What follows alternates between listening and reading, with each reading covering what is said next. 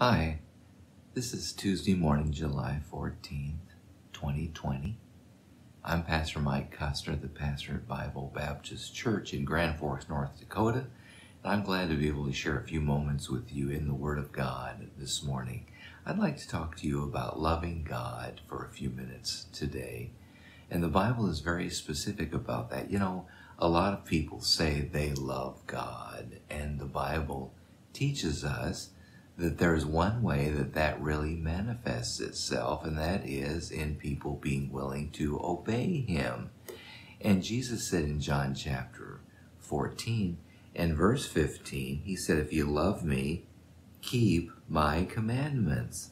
And then a little bit later on in that same chapter, verse 21 and 23 say, in essence, that a person who says they love God, they will manifest that in keeping His commandments. And the, those who keep His commandments are showing and proving that they love Him.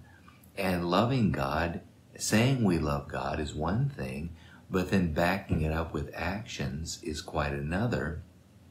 And the Bible says very specifically that people who really love the Lord will have a desire to obey Him.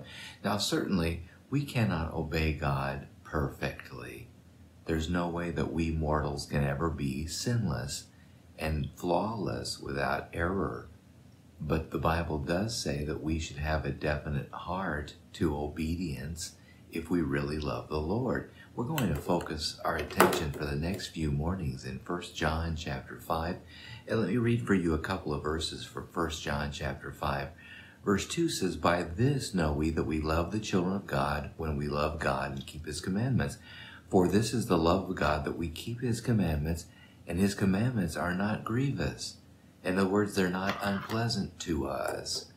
The Bible teaches us if we love God, we'll love the things of the Lord. and we'll love his commandments just as we love him. And we'll have a desire to keep his commandments.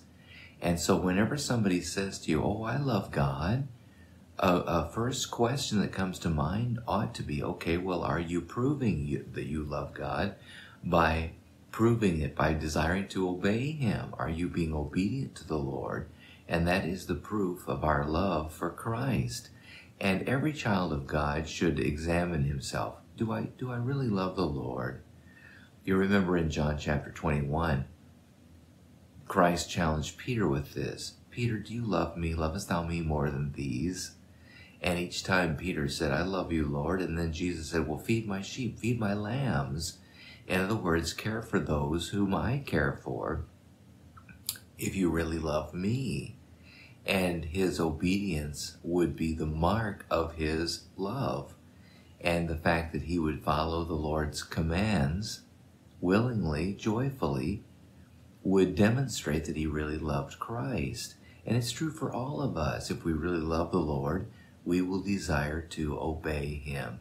And may that be the prayer of our heart today. Lord, I love you and I want to obey you. I want to be the kind of person you want me to be. I want to demonstrate my love to you with my actions. God bless you today.